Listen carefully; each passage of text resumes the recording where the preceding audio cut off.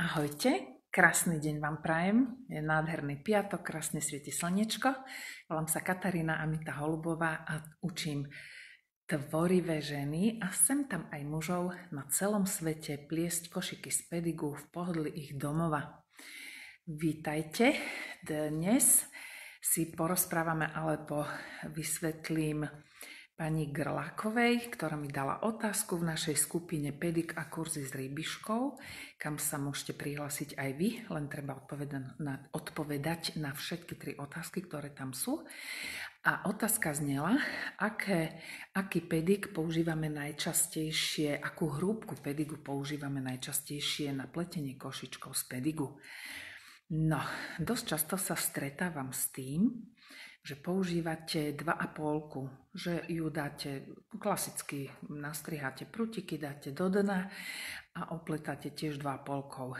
Pre, ja som zastánca 2,25. Pre mňa je ten pedik najpoužívanejší a vysvetlím.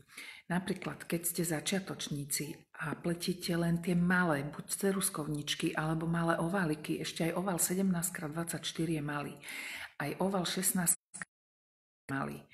To sú malé koši, nerobíte ich do výšky 50 cm a podobne, tam už bolo 5 ale Väčšinou pletiete malé košičky, malé kruhy, ktoré majú tých 11, 15, 18, 21, 25 cm a tam odporúčam vrele klasicky urobiť, na, nastrkať do dna 2,25 a opletať 2,25. Vôbec nepotrebujete robiť 2,5. Je je ťažšia na, na pletenie, hlavne pre začiatočníkov.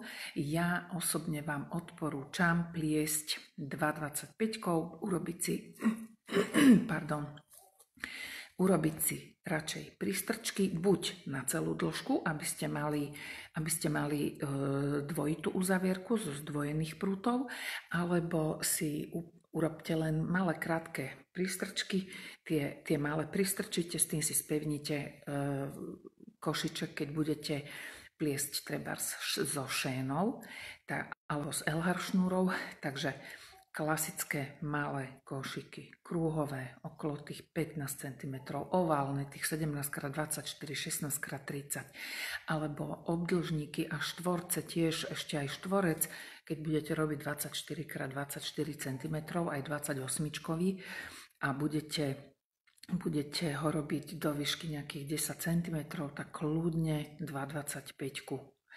A 2,5 e, vám odporúčam robiť až vypletané dna. Predsa len to dno už potrebuje mať inú pevnosť, inú silu, takže tam odporúčam radšej 2,5. E, všetko toto vysvetľujem, učím a hovorím aj pri videách, keď ich dabujem, keď, keď natočím pre vás video, ktoré máte v základnej škole pedigu, tak tam to všetko vysvetľujem. Vysvetľujem čo a ako urobiť, prečo to tak urobiť.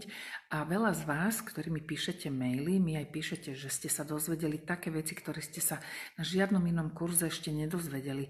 Takže, takže v, tých, v tom dubbingu, kde, kde uh, ukazujem a vysvetľujem a teda dabujem to video, ktoré som natočila, ako celý videonávod, tak tam to všetko presne opisujem a hovorím. Takže ešte raz, keď chcete pliesť malé košičky a neviete sa rozhodnúť, akým pedigom, 2,25 úplne, úplne stačí. Teším sa, že, ste, že pletete so mnou, teším sa na vaše objednávky do e-shopu, už, už, sa to, už sa to tam plní, začnem to za chvíľočku vybavovať. A vy všetci, ktorí ešte nie ste u nás v našej skupine Pedik a kurzy s rybiškou, nech sa páči, prídite, pozývame vás, prihláste sa, tešíme sa na vás. Len treba odpovedať na všetky tri otázky a ja sa teším na ďalšiu otázku, ktorú, ktorú môžete napísať buď tam do tej našej skupiny, alebo sem dole pod toto video do komentárov, aby som vám vedela pomôcť, mohla pomôcť, aby sa aby sa vaše tvorenie, pletenie košikov z pedigu stávalo ľahším. Do pletenia a krásny piatok. Čaute.